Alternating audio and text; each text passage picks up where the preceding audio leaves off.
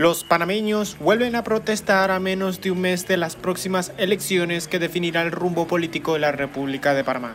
En los comicios electorales a celebrarse el 5 de mayo del 2024, no solo se elegirá un nuevo presidente, sino también alcaldes, representantes y diputados de la Asamblea Nacional. Pero fue a inicios de esta semana que el diario La Prensa publicó una lista de personas que han sido beneficiadas por los auxilios económicos dados por el IFARU, Instituto para la Formación y Aprovechamiento de Recursos Humanos, en el periodo entre 2019 a 2023, y que algunos nombres no se han revelado del todo por orden de la Contraloría.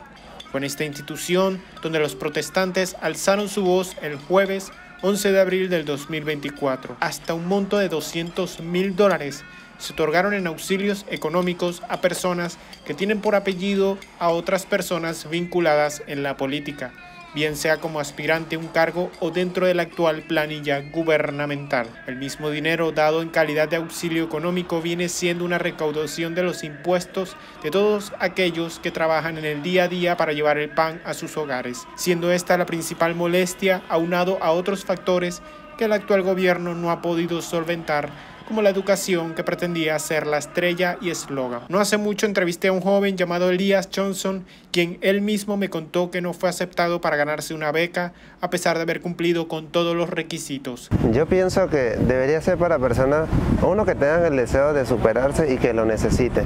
Y cuando, o sea, me da tristeza porque en ese momento, o sea, y todavía lo necesito, no, ya es diferente, pero sí lo necesitaba y ver en la situación de que no puedes estudiar lo que tú quieres, o sea, da, pesar. Y no solo pienso en los demás, de que muchas personas como yo, y muchos me han comentado de que están en la misma situación, que no pudieron estudiar y muchos se desistieron de sus sueños. Y eso es lo que más dolor me da. Ok, y mm, cuando te dijeron el no por parte del IFARU, eh, ¿llegaste a algún momento de desistir de que podías llegar a estudiar medicina? En ese momento sí pensé que ya, ya el camino hasta ahí había quedado, cuando ya la última vez que fui que me dijeron que no se podía hacer nada, yo digo, bueno, hasta aquí, pensé que hasta ahí iba a llegar el, el proceso.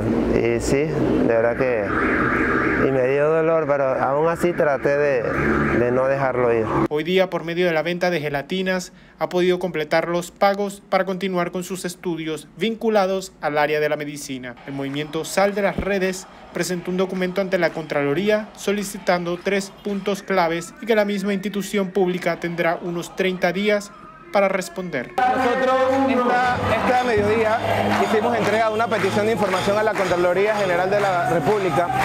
Esta petición de información contenía tres puntos importantes. El primero es que necesitamos saber quiénes fueron las personas beneficiadas dentro de los documentos que presentó la prensa, donde hay más de 142 millones de dólares que fueron otorgados en beneficio de ciertas personas, que no conocemos el total, hay más del 50% de personas que no sabemos quiénes son. Esto tiene un acumulado de más de 75 millones de dólares. Por eso nosotros nos acercamos esta mañana para exigir este primer punto y es conocer a quiénes se les otorgaron todos estos beneficios que fueron ocultos y blindados por el Contralor. Lo segundo que pedimos, que pedimos es conocer a quién se desembolsó el, pago del auxilio económico, si fue a la institución académica o se lo otorgó al beneficiario de manera directa. Esto es importante saberlo porque necesitamos saber cómo fue utilizado este dinero. Si este dinero realmente fue directo a la institución académica, ya sea pública o privada, nacional o internacional, estos auxilios económicos.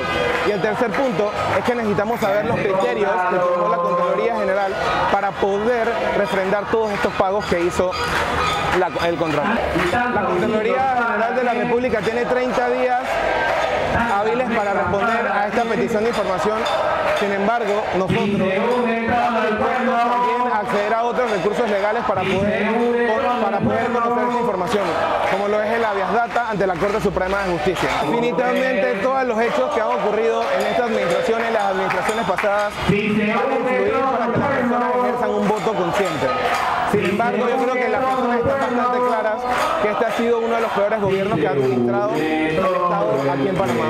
Así que la gente ya estaba clara en que este gobierno no era representativo y no vamos a votar.